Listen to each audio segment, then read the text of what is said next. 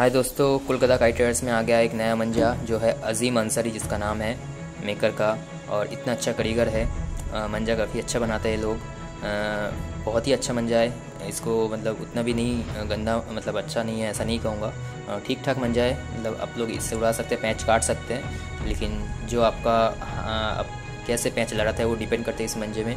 और ये चरखी अनपैक हो रहा है आप लोगों को दिखाएँगे। ये मंजा इतना अच्छी मंजा है। और ये ब्लैक कलर का मंजा है और ये अजीम भाई का ये तस्वीर आप देख सकते हैं आप यहाँ पे।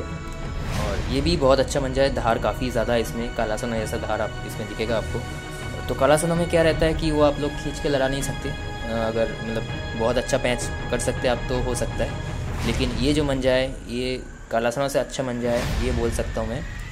इसको आप खींच के लड़ाइए, ढील से लड़ाइए, कुछ भी लड़ाइए, ये मंजा काफ़ी अच्छा रिज़ल्ट देता है। अजीम अंसरी नाम है भाई साहब का। और बडली का कारीगर है। और ये तार देखिए, तार जैसा मंजा दिखता है आपको। देखिए, तार तार जैसा एकदम। और ये छः कॉट का मंजा है और स्पेशल मैदानी धुला मंजा है ये। और कुछ भी दिक्कत नहीं है इस मंजे से उड़ाने के लिए। आप लोग छत से लड़ाएँगे और आसपास पड़ोसियों से पैच वैच लड़ाएँगे तो एकदम नंबर वन मंजा है।